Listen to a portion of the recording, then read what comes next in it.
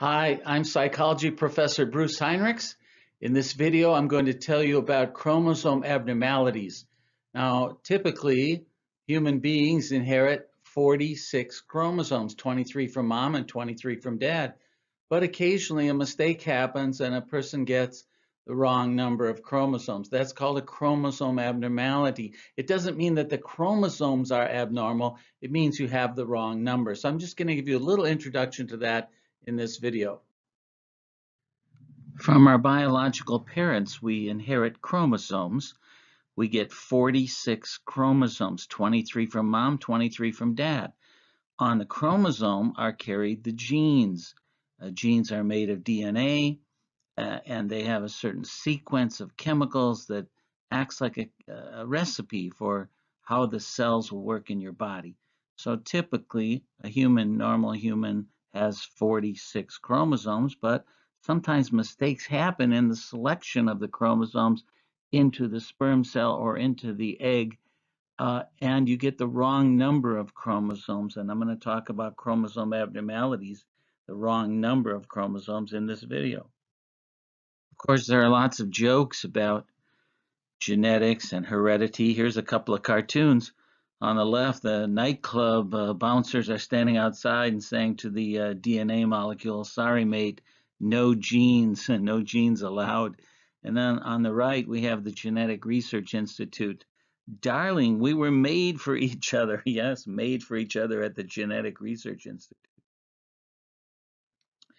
We use the word genotype to refer to the genetic recipe that you inherit.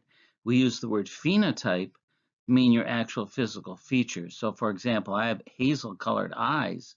That's my phenotype, color of my eyes. But I'm carrying a gene for blue eyes that I got from my father because he had blue eyes. So I know I'm carrying a gene in my genotype. I have the, the recipe for blue eyes and could pass that on to my offspring. So genotype and phenotype are not always the same thing. There was a jazz musician named Billy Tipton, and when he died in 1989, it was discovered that he was a woman. He had lived his life as a man, although he was born Dorothy Tipton in 1914. At the age of 19, he started living uh, as a man. Uh, we don't know why, but uh, maybe it was uh, to fit into the jazz music world because in high school, uh, Dorothy Tipton was not allowed to join the jazz band because they didn't let girls in the band. Anyway, this shows a good example of phenotype versus genotype, uh, but it is not a case of uh, chromosome abnormality. As you have learned, a normal uh, human has 46 chromosomes, 23 from mom, 23 from dad. These are thought of as pairs of chromosomes because you get like chromosome number one from mom, chromosome number one from dad. So you have a pair. So we, we say 23 pairs. That's 46 altogether. But occasionally mistakes happen. Sometimes the egg or sometimes the sperm does not have 23 chromosomes in it. The process of selecting the chromosomes is called meiosis. Meiosis. And sometimes a mistake happens in meiosis and the wrong number of chromosomes get into an egg or into a sperm cell, like instead of 23, you could have 22 or you could have 24.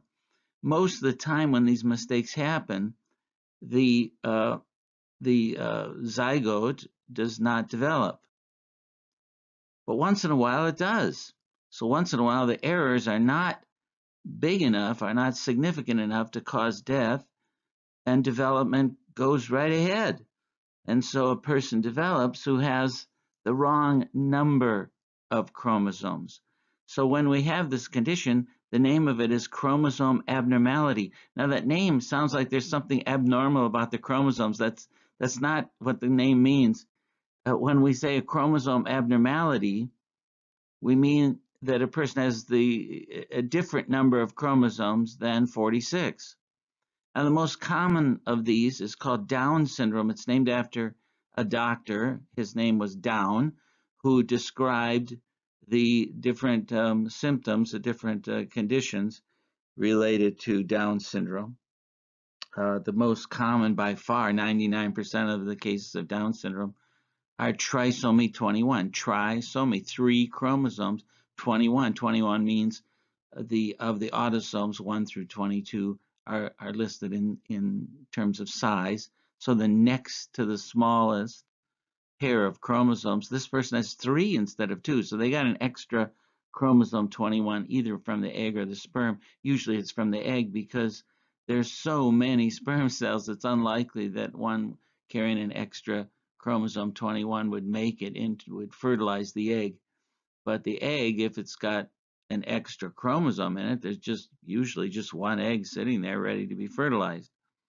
Uh, this mistake is more likely to happen when people get older. When people get older, the body changes and it ages, and uh, the process of meiosis, the selecting out of the chromosomes, gets affected because the chromosomes get stickier and they stick together. So uh, when you're older, it's more likely that this will happen. However, uh, older people, 40 years old, don't usually have babies. Uh, so, you know, many, many more people in their 20s have babies than people in their 40s. So, of course, most people with Down syndrome have parents who are in their 20s, even though the risk is greater when people get older. Now, a second chromosome abnormality is called Klinefelter syndrome, again named after a doctor. In Klinefelter syndrome, again, there's an extra chromosome. So just like Down syndrome, a mistake in meiosis results in an extra chromosome. Instead of 23 chromosomes in the egg or the sperm cell, there's 24. And so you get a total of 47. Just like with Down syndrome, you have a total 47 chromosomes instead of 46.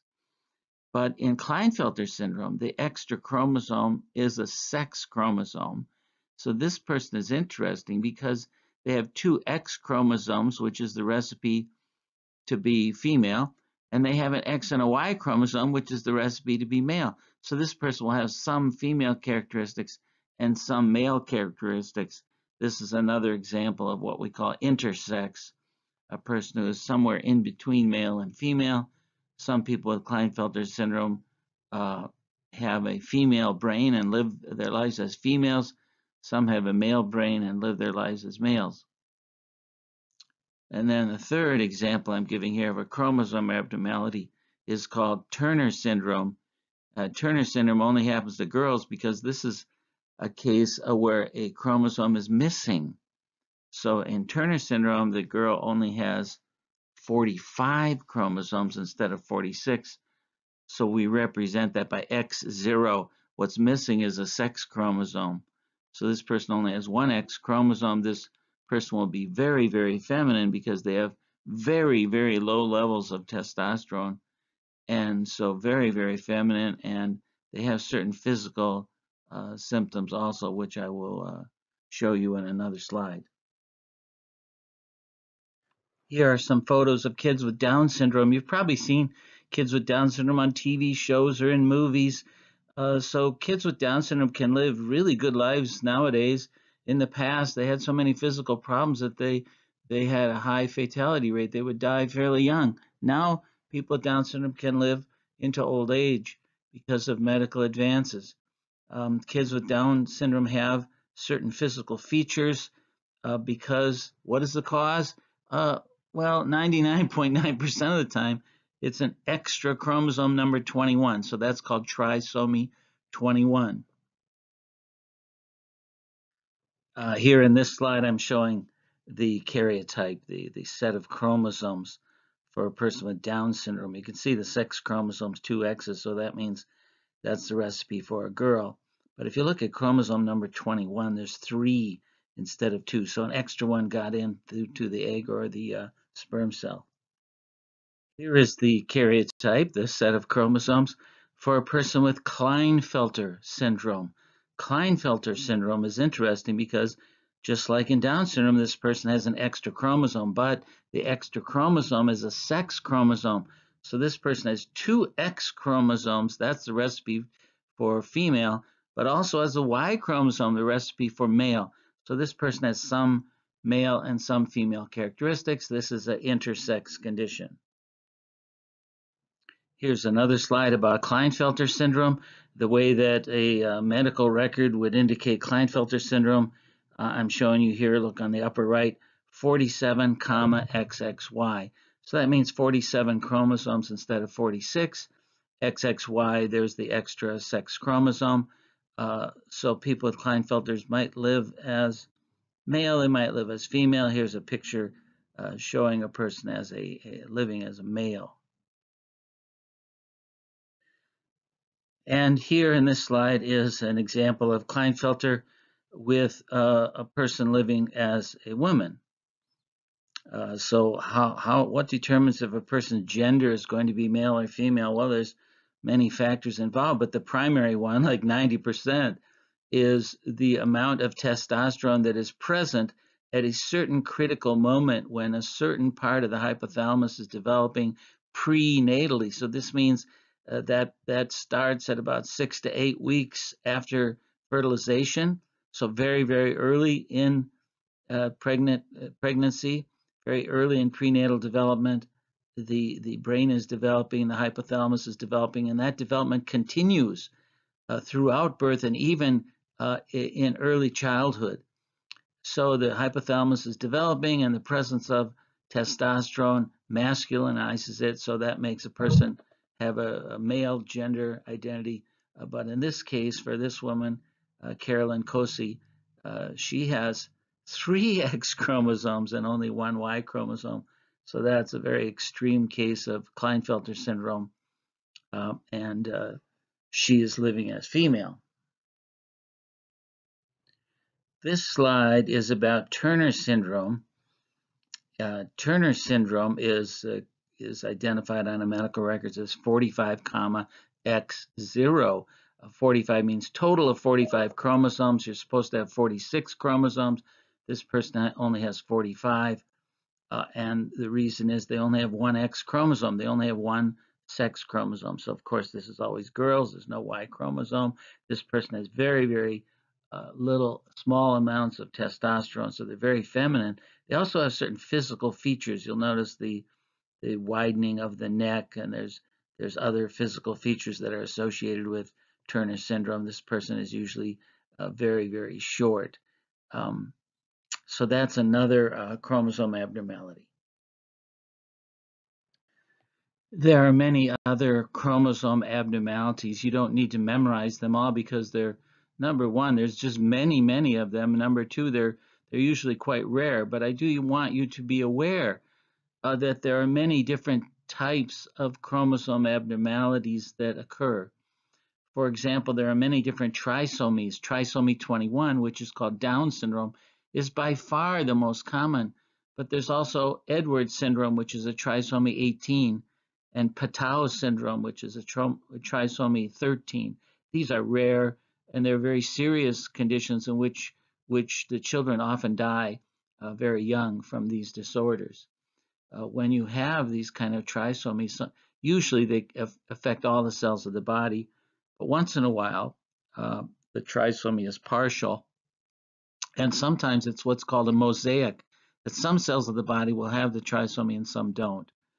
Another thing that can happen is pieces of chromosomes can break off and attach someplace else or sometimes be completely missing. So there are a number of different conditions. I'm just indicating one here. It's called cri du chat. Cri du chat is a French term that means the cry of the cat because these children, they, they cry and they scream. It sounds like a, a cat crying.